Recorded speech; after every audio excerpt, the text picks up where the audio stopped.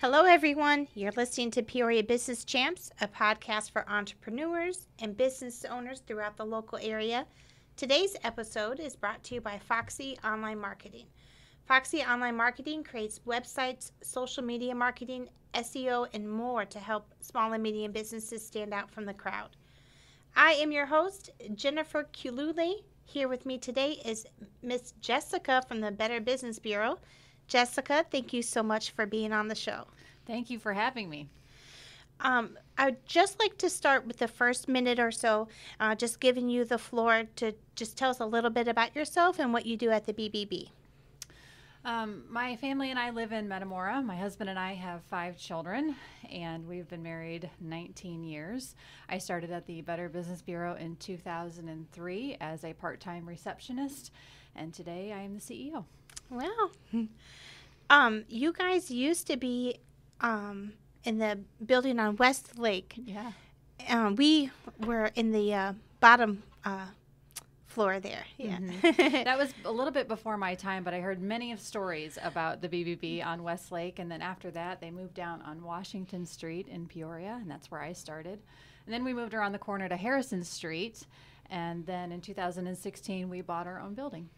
So, um, as far as being a member of the BBB goes, what is the biggest benefits for a local business? There are lots of benefits. The primary reason most businesses want to become accredited with the Better Business Bureau is to set themselves apart from their competition uh, or as a business in their community. And they set themselves apart by committing to our standards of trust. So, you know, every business says that they're the best mm-hmm. or that they can do something better than their competitor. customer driven. Yeah. Yes, yes. And um, they can do that by really measuring themselves with our standards of trust that include things like um, being transparent being honest, honoring your promises, you know, embodying integrity. And what that means exactly is they subject themselves to a review by the Better Business Bureau to say, "Hey, take a look at our business, take a look at our past, take a look at our ownership and our and our management team, mm-hmm. and you know, you guys look and see if there's anything that would cause a customer to lose trust." In our business. And so we do that, and then we continue to do that. It's not just a once and done thing. Um, and then the biggest part, too, is we offer a lot of support for local businesses in many areas. A lot of most commonly known, you know, anytime there's an issue with a customer, you know, they can come to BBB, and it, we're not a consumer bulldog mm-hmm. or a mm-hmm. watchdog or anything like that. What we are is a, um, a mediator. Mm-hmm.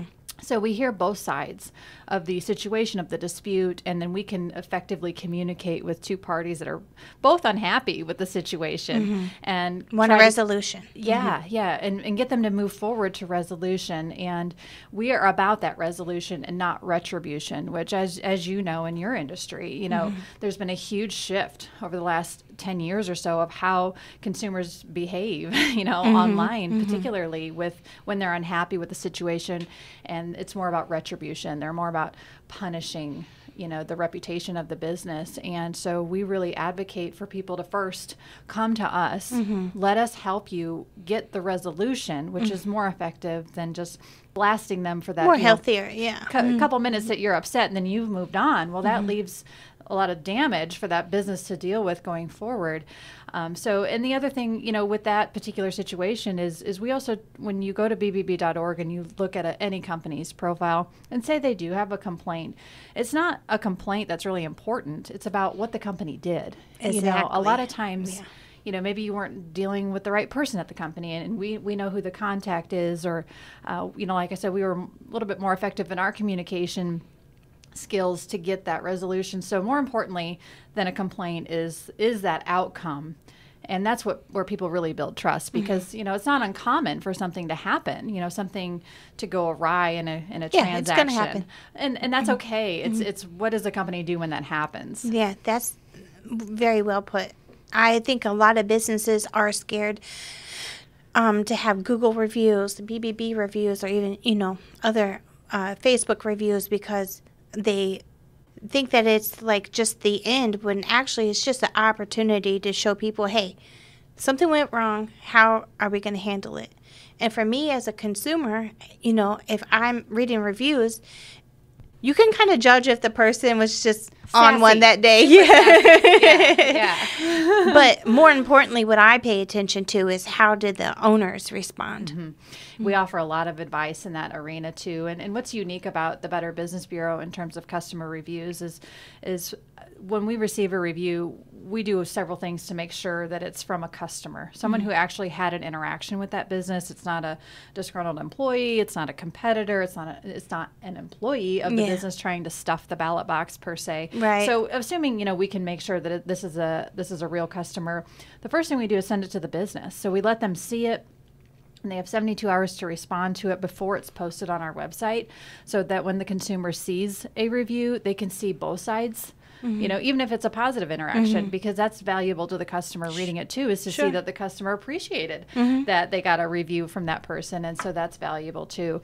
Um, but we do a lot of coaching too for a business because, you know, myself included leading this organization and, and any business owner they wear their heart on their sleeve Sure. for that business and so when you get something negative about your business, It can feel like a personal attack. yeah so emotions can get really in the way of Mm-hmm. your response so we really you know we work as a sounding board a lot of times where businesses can you know just kind of vent to us you wouldn't believe what they did and this is not how it went and, and let it all out Yeah, let yeah. it all out and we will guide you to a professional response because to your point of when you're reading how the business handled it i always give the analogy of um, being in a store and you see a toddler like throwing a major fit Yeah. throwing themselves on the floor i want that candy or whatever it is like totally having a fit you're really not watching the kid you're looking at the mom Yeah. Yeah. how is she handling God bless her. Yeah, how is she handling? You know, we've been, we've been in that situation, and you know, you feel those eyes on you. Yeah. But it's similar. Yeah. You know, you're really looking at the business like, oh my gosh, what did, how what are you going to do about this? Mm-hmm. You know, are you cool and collected, or are you throwing a fit too and, and Mm-hmm. acting just as crazy as, as that person? So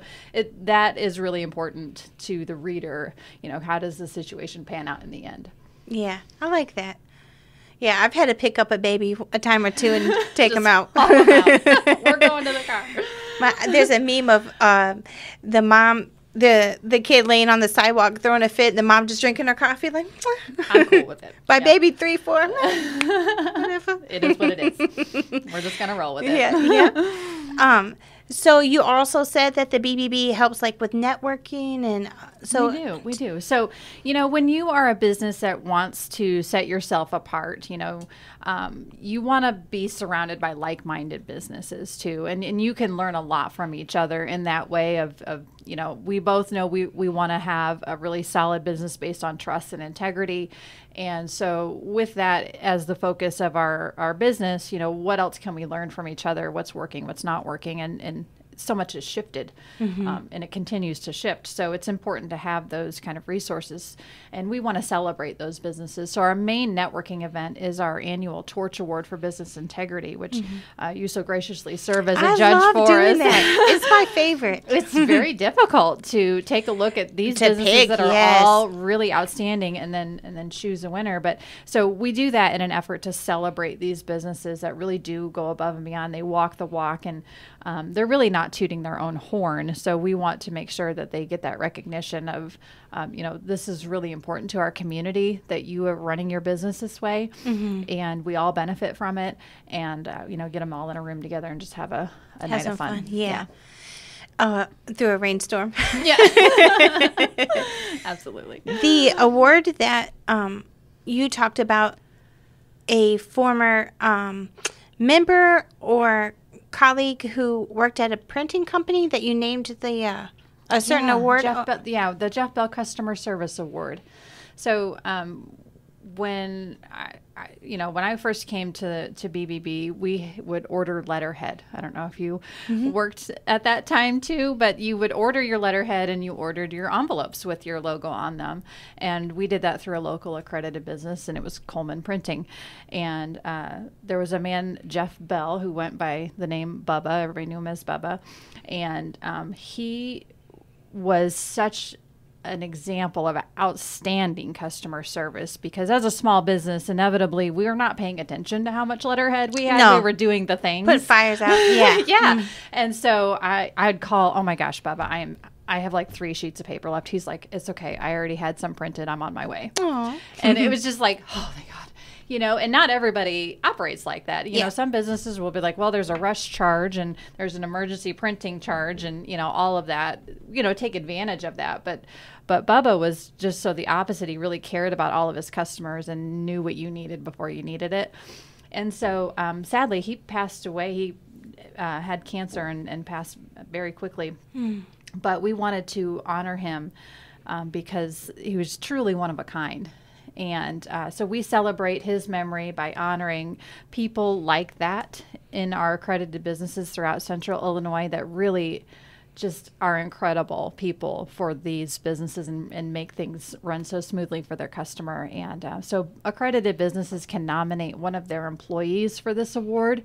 And we recognize all of them because they're all amazing individuals. To be nominated, yeah. Yeah, yeah, and especially today, you know, I think I truly believe that there's been such a huge shift, you know, and more businesses are afraid to do something above and beyond than what they used to be. So, um, you know, to really encourage that and and honor those people that care, you know, we have that award and, and we recognize those individuals. What I like about the Torch Awards, it's not like the company with the most money or the da da da. I mean, underdogs have just as much of a chance to win. I mean, you guys really recognize the true grit and characteristics of a business. Yeah. Yeah, we do that because we separate them by size because we recognize the business with over 150 employees probably has a whole marketing team that's you know capable of, of doing a lot more than the the business with just one employee. And they got a whole different set of problems and issues. Yeah. yeah, yeah. So we do try to break it down by size, um, just to you know make sure that they're all kind of like in some way. So you've been with the BBB how many years? This will be my 20th year. So, what would you say out of all the businesses that you've worked with, what would you say attributes a business to being successful um, and staying around for such a long time and being successful? Yeah, like you, I've had the opportunity of talking to a lot of different businesses over my time. And um, I've talked to a lot of businesses that don't have that um, secret sauce, I'll say, of, of getting it right. And, and it comes down to um, the individual, it comes down to leadership, really. It comes down to um, the DNA of the the decision maker essentially and it and it truly is a foundation of trust and that trickles down into so many things but um, you know recently you know i'd say within the last year there was one particular business that came into the office that had a, a terrible rating that had several unanswered complaints a pattern of complaints of not finishing the issue? job. Mhm. and um, and just not being truthful about situations. And and the owner said to me well i don't i don't get it. How how do how come i can't have an a rating? And how come i don't have positive reviews? And to me it's just so obvious. It's so obvious because there's th- that kind of business that they're up at night thinking okay i really need $2000 tomorrow. Mm-hmm. How am i going to get that money tomorrow? Mm-hmm. Versus the business owner that's like am i doing enough Am I doing enough to serve my community? Am I doing enough for my employees? Do I need to give more training? Are they happy? Do they need development? Do they know how I much gotta how call proud I back am? so and so, and yeah, yeah. And is this product the best one? You know, and are we on time? You know, the just the DNA of how they think about their business is is the difference. And it's it's the businesses that are totally honest and transparent and focus on the integrity of themselves and walking the walk so they set the example for their team. yeah. You can't just throw money at it. Yeah. You can't. Yeah. You can't. And like you said earlier, there are there are businesses that are super small that are really uh, that have grit and and grind every single day and they go out and and the only thing they care about is doing the right thing and that a lot of times will it's expensive you know when the customer's not happy uh, you know we're going to tear that out and redo it Yeah. that costs money and they're willing to do that because their name and integrity is on the line Yeah, I agree. Those are the businesses that will be around for for a long time. Yep. Yeah.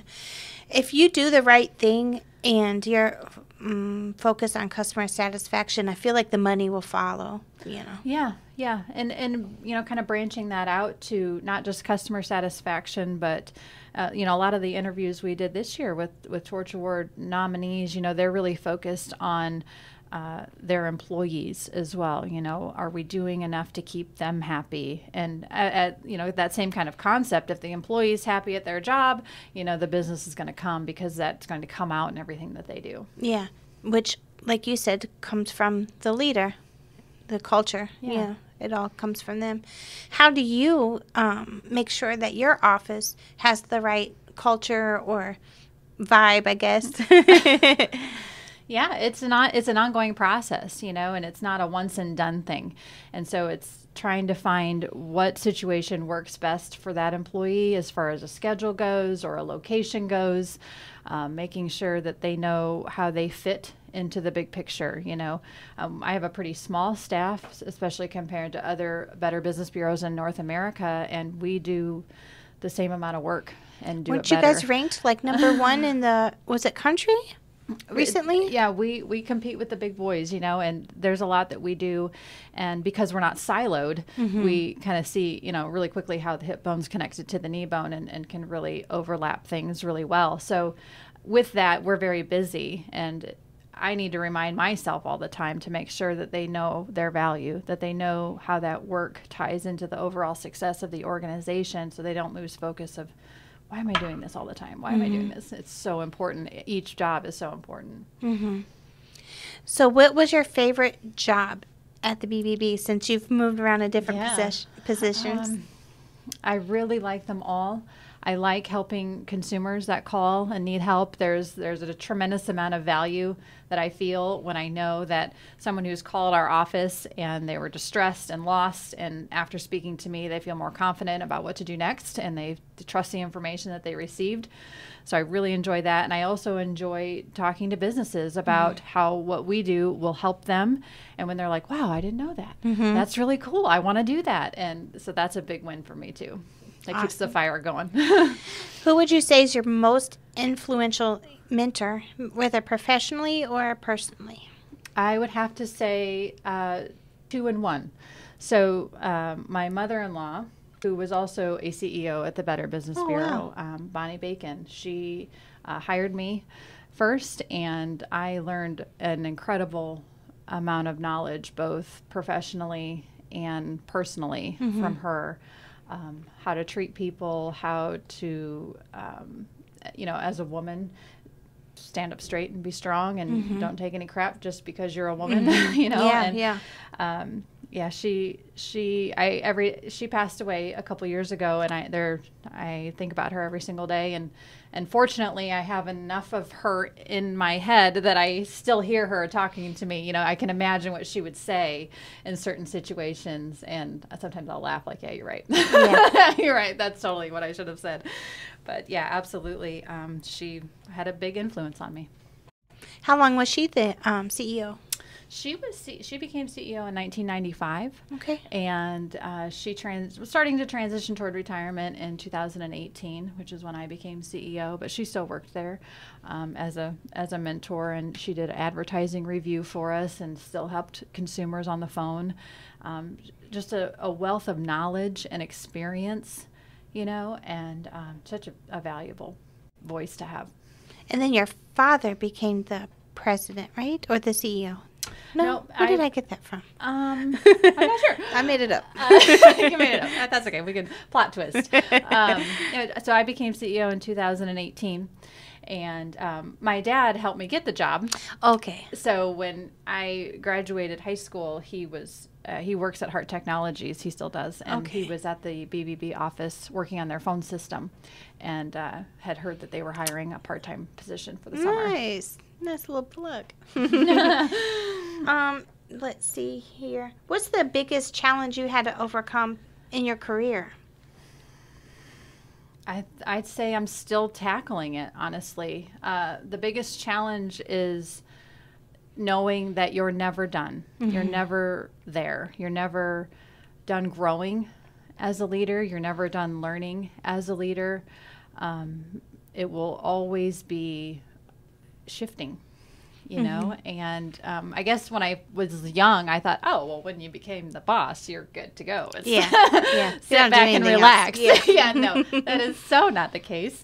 Um, but yeah my, my biggest challenge is is continuing to evolve and and figure out what is the next piece to my puzzle that i need to be better um, a better ceo for the organization a better leader for the staff a better wife a better mother all of the things you know and just keep evolving hmm I like that. Uh, anything that we didn't mention that you want to talk about? we do all kinds of things. You know, I always tell people if you don't know who to call, just call BBB. You know, we can at least give you who you should call. Um, we answer the phone. we are Right. local. We serve 36 counties. So, um, and there's a BBB somewhere throughout North America. So, uh, we have colleagues all over the place that can help with whatever you got going on, no matter what business you're working with.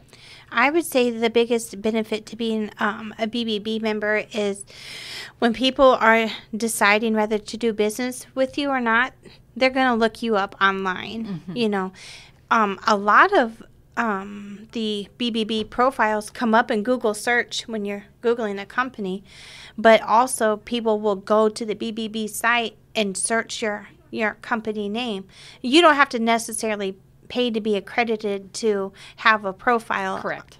on there, but um, just going back to like that transparency and everything that you said, I think that really uh, makes or breaks a, a customer um, when they're deciding to do business with someone or not. So I would I would definitely suggest to anyone um, looking to grow, you know, that trust between them and their customer, or just you know expanding their business t- to definitely uh, talk to you guys about becoming a member because I think it goes a long way. Mhm. Absolutely, absolutely. You're right. And people trust the information they find on bbb.org.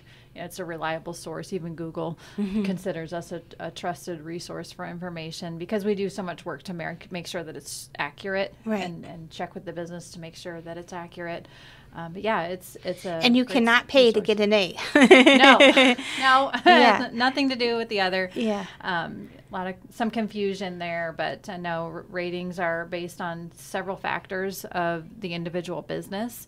Things like how many complaints and how the company responded to them, how quickly they responded to them, that kind of thing. Um, if they don't have the appropriate license needed for their industry, that could impact the rating.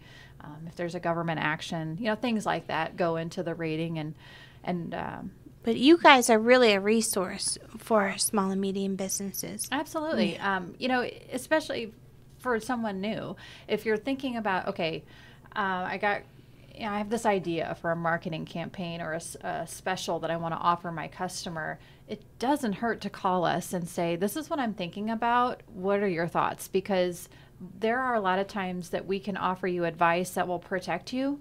You know, there there's you know asterisks and fine print and you want to make sure your wording's correct so that you don't get taken advantage of as a business you know mm-hmm. when your intent is to have a promotion you know that kind of thing you you don't want to lose money on it.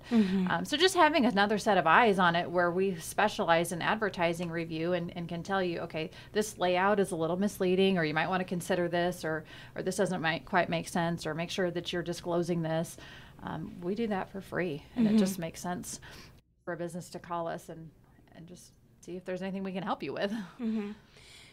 I think, yeah, I, th- I think that for sure you guys are a great resource and have everyone there um, is on the same accord. That's been my word today. but I think that is because I've been talking to good businesses and good leaders, and I think that's a, a huge part of that. It takes a team, it really does, Yeah. to carry out a vision and you know the culture and everything. So, Yeah. um, so if someone is thinking of becoming a member, what should they do? Just you can go to bbb.org and, and apply online and we'll call you and, and talk about the standards. And you can read them all on our website, but we like to talk to you about it. Make sure you understand the commitment to, that we're asking of you as a business to be accredited. Um, or you can call our office and we'll talk to you about it. Our number is 309 688 5124. Okay. Well, that wraps up this episode of Peoria Business Champs. A huge thank you to our guest, Jessica from the Better Business Bureau. Also, thank you to our listeners. If you haven't yet, please join our Facebook group, Peoria Business Champs, where you can see more behind the scenes of interviews, local events, tips, and more. You can also find us on YouTube. And thanks again, everyone. Have a good rest of your day.